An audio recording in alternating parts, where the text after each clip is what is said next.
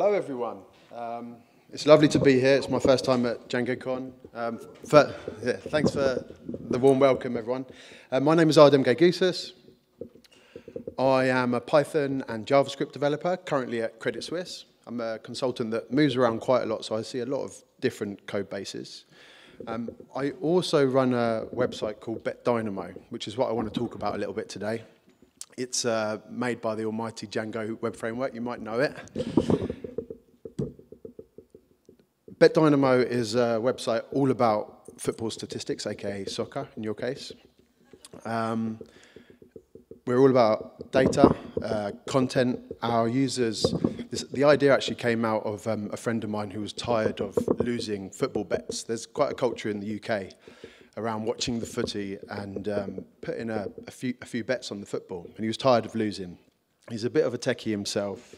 He says, I, I want to use data to, to give me a bit of an, edge. So our site gives uh, our users an edge. Um, and they, they pay for that data, and it's theirs, and they, they share it and use it. And what I want to talk about today is a tale whereby one of our, pay, our users um, decided to rip us off and start sharing that data for his own financial gain, he or she, we don't really know, financial gain across the web. This made us quite unhappy. Uh, we don't mind people sharing data, but he, he, it was a, a clean rip-off. So, software pirates, can we catch them? Maybe if we attempt to, to track their, their behavior. Enter Django.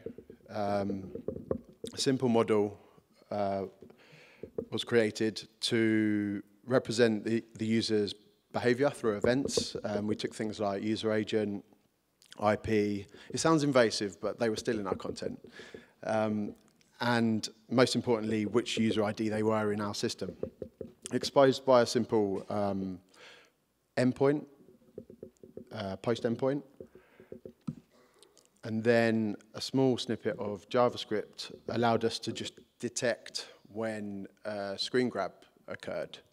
Um, you'll probably notice that it's desktop only, but we could tell from the pirate that he was screen grabbing on desktop. And also, it was easier to, the majority of our users were Mac on desktop, so we, we, we went with Mac as a leap of faith.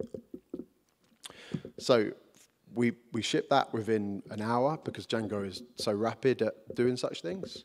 And then it became a waiting game. Turns out we didn't have to wait long at all. As you can see, this is on my mobile using the awesome Django admin. A stream of events came in, and this is specifically people hitting screenshot on, on their keyboard. This was fascinating. Um, but you're probably thinking it's perfectly fine to screenshot. They're well within their rights. So we thought, well, what are we going to do with this data now? There were, were, of course, some users screen grabbing more frequently than others. So we thought, and, and, we, were, and we came to a, an idea. This is a small snippet in Django settings, takes an environment variable, put this together very quickly, but again, Django allows us to do this, deployed on Heroku, an environment variable, variable that um, we convert to a key, key value dictionary, the keys were the user IDs that were taking the screen grabs. The values were discrete numbers that we defined unique to each user. Next, we, we use that config to inject it into the statistics for each user. So if we come into the view and if the user's in the dictionary, we inject a discrete number. As you can probably see where I'm going, when we serve up the statistics to each user, those users would, would get a, a discrete number. So again, it was a waiting game. They post every day, so the, they posted, and bingo, we had the, the, the discrete number that that user posted, and we were able to track that back to user ID, track that back to their PayPal account, and then contact them politely to ask them to take down the content. And they did, in fact, take the content down. Um, so what does this prove? Well, we were pretty chuffed with our, our skills at hunting pirates, and you can, in fact, um, oops, you can, in fact, catch a pirate, just about. Uh, thank you. I'm Adem Gaygusuz, warding off pirates one line of Django at a time. Thank you. All right, hi, my name is Laura. I'm going to explain Selenium really fast. Um, I work at Industry Dive, we're hiring. Um, I'm also going to talk a little bit about HipTest, Browser Stack, Behave and Behave Django. Shout out to Li Zhao from DjangoCon 2018. Gave a great talk last year. You should check it out if you want a slower explanation of that stuff. Um, okay, why are we talking about this? We want to test our website's full stack features, meaning we need a JavaScript environment. If you're not on board with this, feel free to tune out. Manual testing, boring, tedious, hard to reproduce. Automated testing, fun, the best, not any of that other stuff. Here's a drunk history version of what was up with Selenium. Uh, the internet was invented, yada yada. A group of people made Selenium Core and Selenium RC, ability to automate stuff with a JavaScript library and to uh, push stuff, push those directions to remote browsers. Other people were working on a way to wrap native uh, browser commands instead. They combined forces, so we are now here. Uh, we can use Selenium's language-specific APIs to send test directions to local browser or through Selenium Hub to remote browsers. We'll talk a little bit about third-party services for hosting those remote browsers. There is a future, uh, maybe we'll talk about that next year. Um, there's a bunch of infrastructure you could set up, but we're all Django developers, so you'll probably start with static live server test case. Here's the snippet from Django docs. You'll see here that this gives you access to the self.selenium object inside your test case, which exposes to you the Selenium Python bindings to be able to do these browser activities from Python. So find element by name, send keys, do some click stuff. This is all stuff that comes with Selenium Python that is being abstracted for you. Maybe you want to do some more stuff. We did, so we subclassed this and put in some stuff that, uh, in this case, is something we wanted to call something else, assert located above. Here's some Selenium stuff that we're doing. And maybe you want to implement those on your test side. So here I have a test that uses that subclass using my new assertion in here, um, and also some other Selenium Python stuff. If you keep reading the Selenium Python docs, you'll learn that they talk about something called a page object paradigm. This is basically to create classes that describe what your pages do specifically, so you can write your Selenium abstractions of what your page is supposed to do, how the UI works uh, in these classes, and then over in your test, you can instantiate those page objects and call those methods there. So it's a way to sort of abstract it page by page instead of a subclass of your test case. Locators is the other thing that, that those docs are going to talk to you about. So this is an idea that for those given pages, you could create this locators class that has these attributes that look a little bit like this. That way, in your code, you can use these uh, terms instead of actually uh, describing the um, CSS selectors directly in them. So you can see I'm using them over here. Uh, if you are really lucky, maybe front end can tell you what these are, and you can just spend all of your time using these attributes over here. But haven't totally experienced that yet. Uh, if you want to run uh, stuff on more than one browser than your local browser, maybe you want to use Selenium Hub. This is an example of some uh, Docker Compose files that is sort of like a stub of Docker Compose that can set up Chrome and Firefox and Selenium Hub so that you can actually run your tests in distributed browsers so you can be running multiple kinds at once. Or you can let someone else hub you, in which case I mean use a tool like Browser Stack, for example, to actually host the um, remote browsers that you want to run. Uh, this is actually showing the output from Browser Stack, which includes recording a video of your test that you can like play at any time. So that's usually like a really wow experience for people. Um, if you want to go to like the totally next level, this is what we're just starting to get used to uh, now in a year later from the talk that I said inspired this whole thing, is to layer on Gherkin, Behave, and Behave Django to describe your Selenium tests in uh, Gherkin syntax. So you can use this type of given whatever, when something, then something. This might be described by your stakeholders or by product, and this can actually be auto-generated or uh, generated yourself into uh, these um, implementations uh, which can uh, be implementing something in Selenium that actually describes what um, these regex matches to these scenarios are. Uh, if you want to go step five plus, you can uh, actually use this tool called HipTest. It, it's this nice UI that you can use to fill out Gherkin scenarios and auto-generate the stubs for these things and abstract things, the things of those into action words so that you can reuse your code over and over again. A couple super fast tips. Use a screen sharing app to VNC into the Selenium process. Feel free to throw in a PDB set trace and then take control as a human if you need to debug. WebDriver wait is your friend, but sometimes it needs a nudge. We use action chains move to element with offset, and yes, time.sleep occasionally. Mocking JS has been a lot harder, but I don't have a lot of time to talk about that, so if you're interested, you can ask me later. Thank you.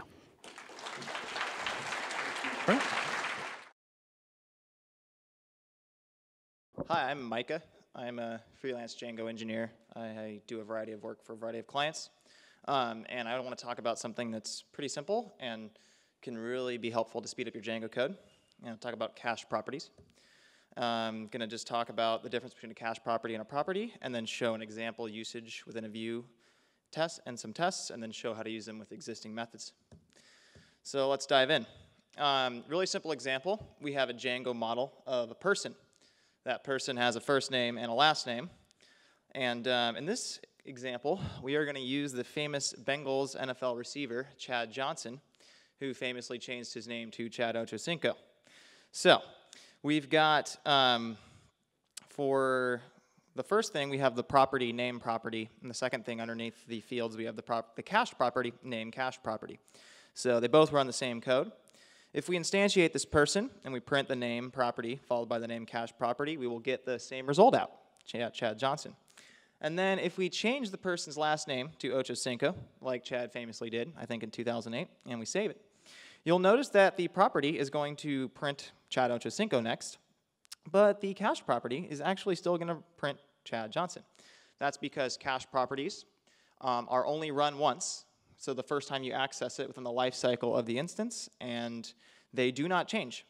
Unless, if you look at the bottom, if you really need to, you can delete the cache property and re-access it, and it will recompute. So, um, let's talk about actually a real-world example. One of the groups I work with is a healthcare group, and in their reset password view that I happen to do, um, you want to get the user from a base encoded 64 um, essentially. And instead of doing some function like get underscore user, I figured, well, within the view, if we ever need the user, well, the first time we access the user, we're just going to grab it. And obviously, if something goes wrong translating that base 64 ID, we can throw a validation error, and it'll just return the correct response in the view. So in the bottom snippet there, you can see self.user is called twice, but that's only going to actually run that code once. Um, talk about in tests, so also in this code base, I was brought in to optimize aspects of the code, and when I was brought in, it had, had about 700 tests, and they used the unit style uh, setups, and frequently did stuff like uh, above, where you'd have a clinic and two clinic locations, each being created in the setup. Now, each one of these creations is making at least one database query, but some of the tests weren't actually using the clinic locations, or one test wasn't using the second clinic location. So it's actually really nice to make these cache properties in the test, which, you know, if one of your test cases actually uses them, since a test case is a new instance each time, um, it's only going, to create it if you need it. Um, a more complex example, if this group had 700 tests and essentially uh, they were they had a superclass that set up like four or five groups depending on which aspects of the test we're running, and it looks something like this. And this would be run for every single test. So for all 700 tests, it was making at least four queries doing this. Um, in the new code, I created a, a, a super class up there that essentially made these as cache properties. So it made all these groups as cache properties that upon access would create the relevant group corresponding to the user type. And then for all across all the tests, I actually mocked and, or patched group.objects so that when you called group.objects.get name equals, say, the patient name, it actually used a proxy sort of thing that would call one of these cache properties so that now we weren't necessarily getting all, we weren't for sure getting all four or five of these queries per test, but rather usually only at most one or two, because these were groups were not all being created in tests. So uh, I just wanted to show one other case of using it on an existing method. So cache properties, you don't have to just use a decorator. You can also use it on an existing method. So in this very simple case, we have the class A with x set to 3 and then the instance variable y set to 5. And notice the method just returns the sum of x and y. Um, before Python 3.6, you had to make it a method, you could call it like a function, but you had to put pass in the same name as the property you were naming it. Um, but now because of the double underscore set name feature in Python 3.6 and later, you do not have to do that. So yeah, that's um, as of Django 4.0, that's going to be obsolete. So there you go. That's cache properties, and that's kind of the, what's coming up with Django.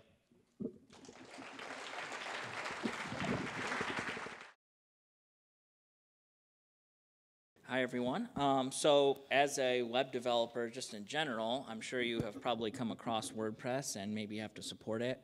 Um, so, I, am not going to slag on WordPress. It's a great tool for many different uh, purposes, but when you're wielding the power of Django, sometimes it can be frustrating to support something like WordPress. So, uh, you know, it's kind of the holy grail of can you replace WordPress with Django? We're trying to do that. So, many of you have probably heard of Wagtail, and it's super popular right now. It's a really great CMS, but it kind of just gives you the bare bones of a CMS framework. It, you are free to implement however you want, whatever kind of content you want. Um, it's, you know, you, you develop it yourself.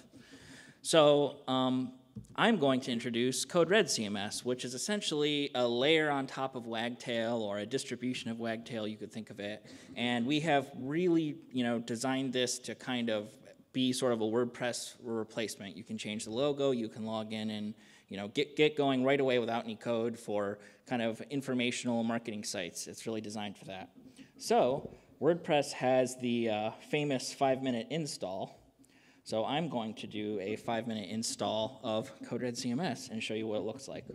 So uh, first I would just do pip install CodeRed CMS, which I have already done to avoid any Wi-Fi errors. and then next you would do CodeRed CMS start uh, your project name, Lightning. And you can pass in a few extra options too, but this is going to be very similar to when you do a Django admin start. So just a few steps to get everything set up here. Going to set up my database. And we have gotten some feedback that people would actually like a GUI around this as well, similar to what WordPress has when you, you know, it kind of, it asks you to set it up through kind of a wizard.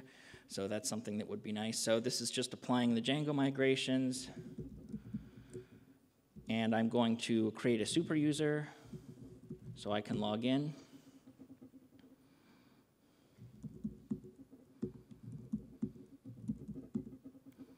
Yes, that's the greatest feature ever, by the way.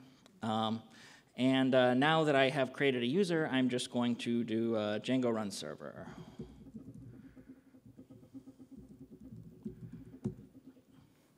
Okay. So that was kind of the normal, the normal flow of, of really starting any Django project. And if I come over to my server now, you could see that I have just, you know, very bare bones. It named it Lightning after what I, what I uh, named it. But let's go ahead and log into the Wagtail admin that kind of replaces the Django admin. And let's get to work. So this looks, this is pretty much exactly like stock Wagtail. I'm going to go into my home page here. And, uh, but before we do that, let's just go right into the settings. There's a lot of settings. We're going to upload our logo so we can get started right away. So I'll just load a logo in there. And you could do a favicon and stuff as well. I save that, gives you a nice branded experience so that you could use this, you know, especially if you support multiple websites. Um, it's easy to tell which one is which. Going back, you can see we now have our little logo in the corner. But the page is still empty, so let's fill out a few things on the home page. Now, in Wagtail, when you go to the home page, you have to define everything you want. You know, every field, it's, it's a Django model. You fill out whatever you want on your field, a title, a description, an image, etc. Uh, with CodeRed CMS, we've kind of pre-populated a lot of basic stuff that basically every website needs. So I'm going to load in a hero unit, which is just an image.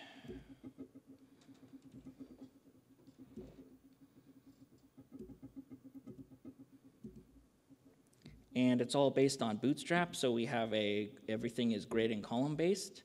And we can add all kinds of content. I'm just going to add some text make that an H2, and I'll go ahead and preview my home page. And now I've got a hero unit with some content in there. So you can follow this paradigm the whole way through and build your entire page out without having to do any code. And if you want to customize it, you can override a little bit of HTML and CSS and uh, you have a fully functioning Wagtail CMS without having to write any code at all. So thank you. Hopefully this is useful. Um, check it out on GitHub. All right. An ecosystem is an interconnected system of independent parts. In a healthy ecosystem, consumers, producers, and resources in an environment interact in balance with each other.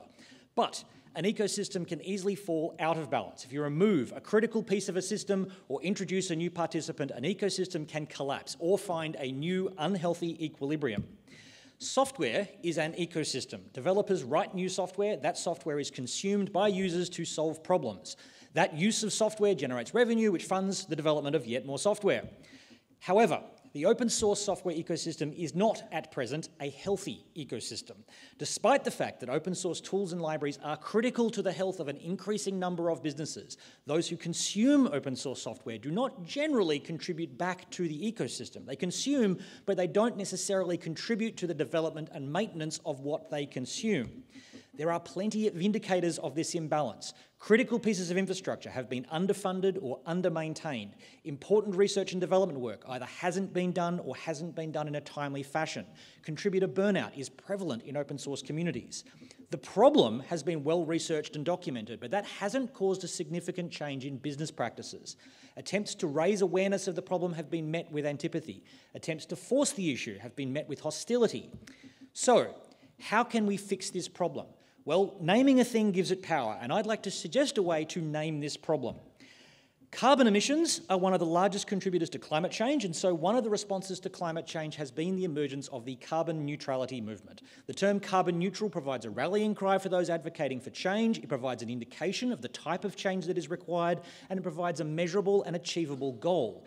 Businesses can indicate their commitment to addressing climate change by adopting a carbon neutrality pledge. Consumers can then use those pledges as part of their process of deciding which businesses to support. Why am I talking about carbon neutrality? Well, the software ecosystem is faced with a very similar problem. We need to balance the consumption of open source software with the need for maintenance resources. We need software consumers to balance their consumption with open source contribution. We need the software ecosystem to become contributor neutral. Carbon neutrality doesn't mean we have to revert to living in a cave. It asks us to critically analyse and monitor our activity to ensure that the value we extract from the environment is met with an equal commitment to give back to that ecosystem.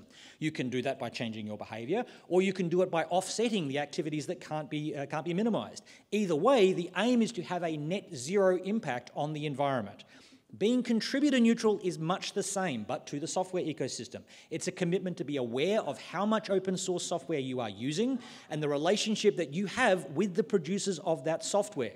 It means trying to be part of the contribution process if you can, but if you can't, it means offsetting your consumption by providing resources to those that are contributing.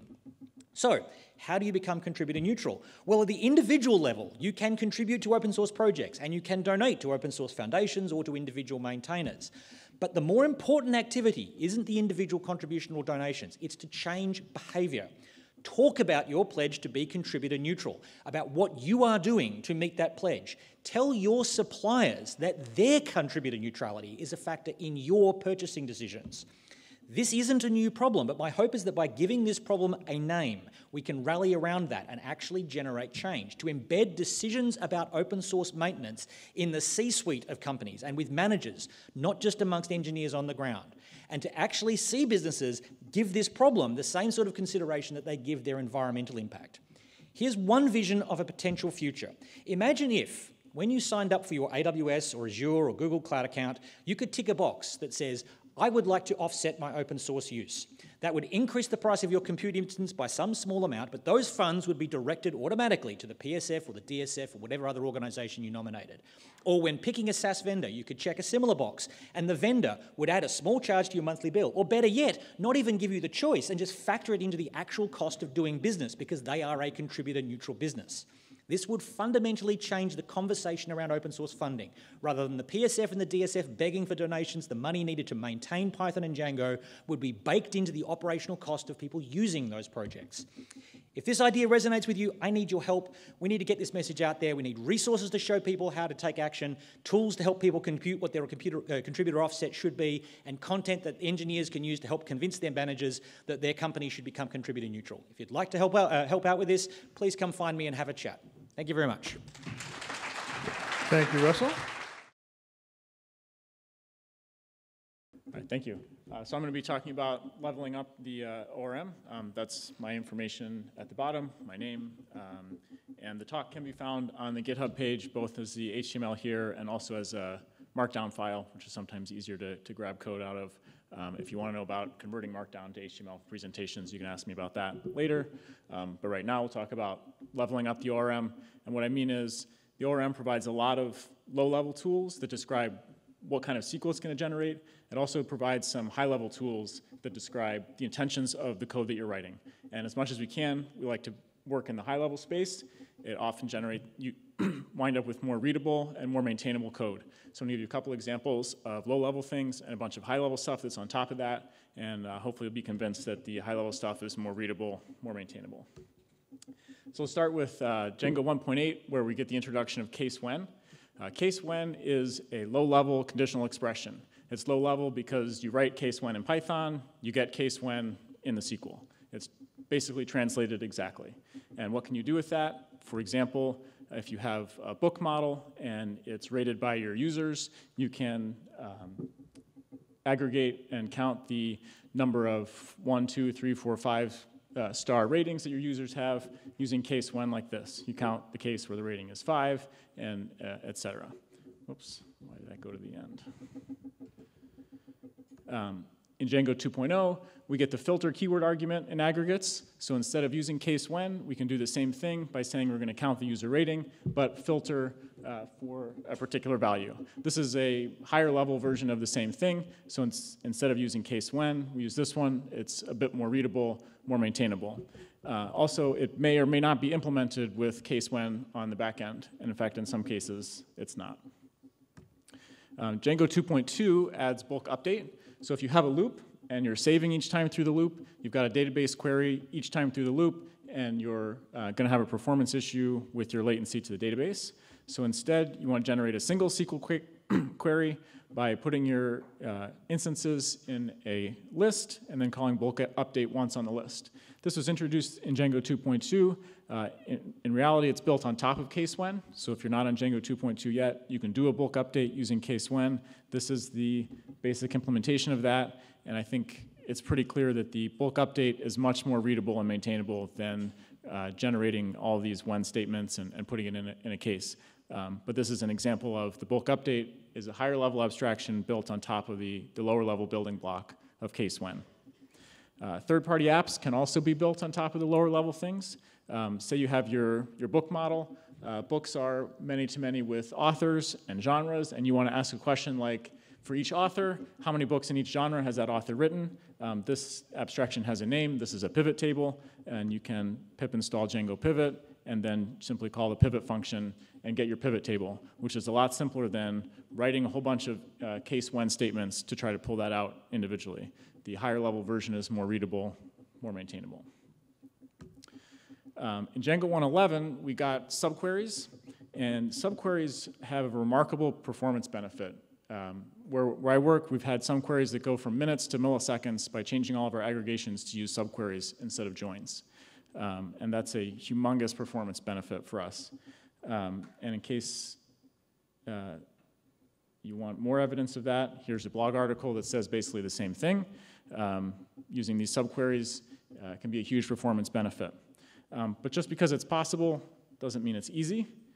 This is a ticket in the Django ticket tracking system that was added a couple months after the release of Django 1.11 that said basically, uh, can we make these subqueries do aggregations? Um, in fact, it was already possible when the ticket was entered. It's just not easy at all. So why is it not easy? Here's the, uh, the way to do a count of books for each author uh, without subqueries. Very simple code, easy to read. Here's how to do it with subqueries. So using the low-level abstraction is difficult. Um, it's a lot of code, it's a lot of boilerplate, I promise every single character in there is necessary to make it work right.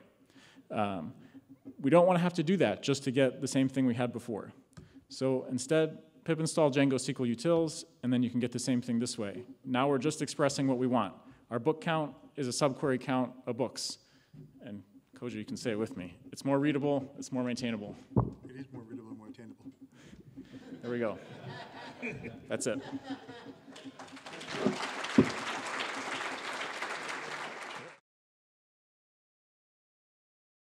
To start, what do you call a grizzly bear with no teeth? A gummy bear. We can only go up from here. This is a brief presentation about the cognitive playbook, which was first researched by Dr. Robert Cadell. The goal is to introduce this framework, which is based on the geometries of thinking. For outline transitions, I'm featuring Ben Franklin quotes and pictures of murals from Philadelphia. My name is Jeremy Gatens, and I'm an employee at the University of Penn, proudly representing WRDS, the award winning research platform. I'm a Tom Petty fan who does web design, in that order. I have a wife, two sisters, and a cat named Aria, who is a princess. Lastly, I bleed Philadelphia Sixers blue and will forever trust the process. On to the show.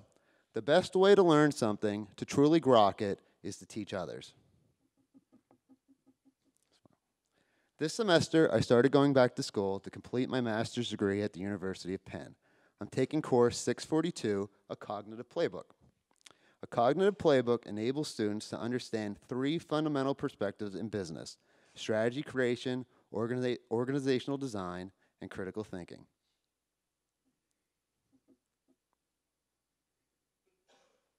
To understand these perspectives, we are introduced to cognitive plays, the aforementioned geometries of thinking. At its core, there are four cognitive plays point, linear, angular, and triangular. Point of this talk is to introduce these cognitive plays as they help simplify complex problems. Each cognitive play has its time and place. The next section will look at each one in detail. Point thinking. Point thinking is black or white. It is useful for establishing essentials and demonstrating contrast. In strategy creation, it is key to defining a business persona. An example is establishing an organization identity, who we are and what we do. Sample question What is the difference between good and bad organizational politics?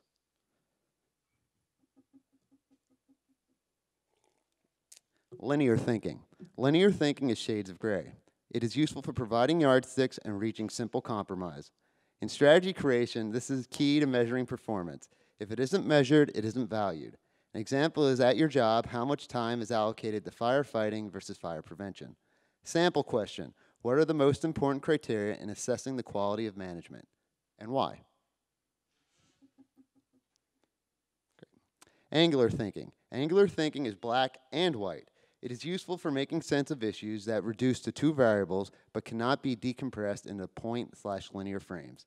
In strategy creation, this looks at what perplexes us. An example is the classic two by two matrix. In this case, the x-axis is me winning, and the y-axis is Kojo winning. Ideally, we want to land in the northeast quadrant where we both win. Sample question How can a large organization exhibit the flexibility of a small organization? Triangular thinking. Triangular thinking is thinking in color. It is useful for structuring complex problems that span strategy, technology, and organization. In strategy creation, it looks at how we compete, organize, and grow. An example is Jack and Jill. There are only three archetypal ways that they can constructively interact. Jack and Jill can, one, each do their own thing and have minimal contact, autonomy. In sports, this is baseball. Number two, settle on a boss slash subordinate arrangement, control. In sports, this is football. Number three, collaborate as peers, cooperate. In sports, this is basketball. Sample question Technology can be used for any mix of the three reasons to increase individual capabilities, autonomy, to increase collective capabilities, cooperation, to decrease cost, control. How does your organization balance these uses? How should it? The importance of grasping patterns of thinking, i.e., the cognitive plays, has become increasingly critical. This approach allows you to decide. This, allow, this approach allows you to decode uh, complexity by isolating form. As aforementioned, each cognitive play has its time and place. The challenge is to mix and match appropriately. The purpose of this talk is to help simplify problems. By understanding these cognitive strategies, you'll be able to develop well-balanced solutions to the complex problems in your life. Bring it home. Here is my contact info. Oh, thanks for your time. Please let me know if you have any questions, comments, or concerns. Here's my contact info. Let me know if you want to talk Sixers, Django, disc golf, or yoga. Thanks again for listening, and a big thank you to the DjangoCon organizers. Take care and have a good day. Lastly, too long, didn't read. Use triangular thinking to solve complex problems. Well done. Well done. Uh, so my name's Dane. I'm a lead web application developer at ITHAKA, and we make JSTOR.org. And if you were at my talk yesterday, you know that JSTOR uses a ton of microservices uh, on the back end, and then we uh, interact with all those services in Python. And so we had a bunch of code that looked like this. Um, so we use requests, and we need to do service location to figure out what hosts that service lives at so that we can call one of them. Uh, and then we keep the name of that service as well as some of the endpoints that we're interested in and what kinds of parameters that endpoint takes and things. And then uh, we would have these methods that would uh, sort of put all that information together, format in the information uh, being requested through the through the workflow, uh, and then ultimately call that endpoint and get the data. Uh, and then uh, we had a lot of them that looked pretty similar. So this one does the same thing for a different service at a different endpoint. Um, and these were kind of scattered throughout our code, um, and it was a lot. So we centralized some of that by trying to make some centralized configuration for all of those service names and endpoints and different ways of calling these things. Uh, but ultimately, that didn't help a lot either. It really just fixed this part of the code, uh, and we still had a lot to deal with. And we really wanted to um, be able to do something a little more SDK-like. Um, so if you imagine some of the some of the popular APIs that provide an SDK, uh, we wanted that kind of experience for all of our services, but we didn't want to build an SDK for all of our services. Um, so we wanted something SDK-like, and it needed to support streaming and service location and timeout specs and stub data uh, and a bunch of other things. So we built something uh, that I'm going to show you, and I'm going to use the Pokemon API because it's pretty cool. If you haven't looked at it before, you should check it out. Uh, and what we're going to do is build a little uh, client for this endpoint to look at Pokemon data. So um, I'm going to make a virtual environment.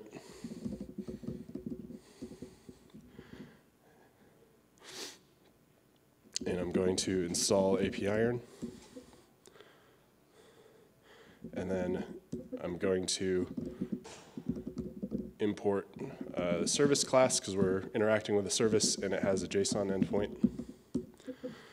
And so we're going to call this Poke API, and that is a service.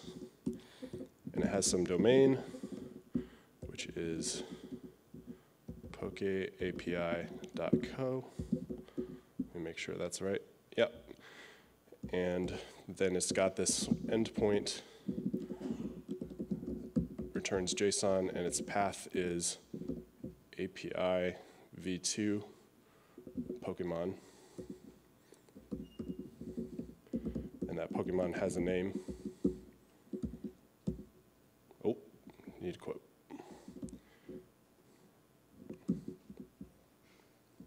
There we go. Oh, gotta redefine the class. With a quote. Okay, so then uh, we want to get some data for a Pokemon, so we're just going to call pokeapi dot uh, endpoint. Should have named that Pokemon. And then the name is Ditto. And we get that data back. And then uh, if we want to maybe look at the sprite for the Ditto, uh, that lives in sprites. And then there's like a front default sprite. So we can get that go look at what Ditto looks like. There he is in all his glory. And then if you want, uh, you know, any, any other Pokemon, you can just change the name you want. We'll look at Dugtrio. And there's that one. Um, And so the, the thing is basically requests under the hood, but gives you this kind of SDK-like experience, and you can uh, specify which parameters are required for a particular endpoint, what the default values can be for that. You can change the default method to use, so you don't have to always specify method equals post or do uh, request dot post. So you get this very sort of native Pythonic experience. Um, so it's on GitHub, uh, it's on Read the Docs. So uh, we're not sprinting on this, but we've had a couple people here contribute to it before, um, and we'd love you to use it and tell us how we can make it better. Thanks.